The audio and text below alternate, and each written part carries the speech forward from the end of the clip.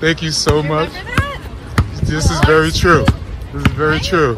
It's been a long time. What's your name again? Vladimir, my- friends call me Dutch. Got it. Yes. It is an absolute like you've been pleasure. Away for a little while. Yeah, I stayed away just to give you guys space in life. Have a wonderful evening.